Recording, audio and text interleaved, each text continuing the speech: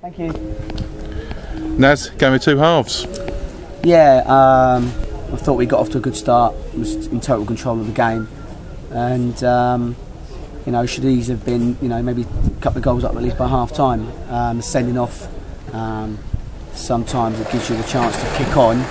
Certainly, first half we took advantage of that and um, could have had two or three goals, but we again creating chances, we're not putting it in the back of the net. To be fair to them, second half they came out with a different mindset. Um, we passed the ball a little bit slow, was a bit careless in possession, and allowed them to you know get two goals out of nothing. Um, but even so, second half we still had enough chances, um, hit the post, um, didn't work the goalkeeper enough. But again, you know, it's um, got to take your chances and um, put the ball in the back of the net.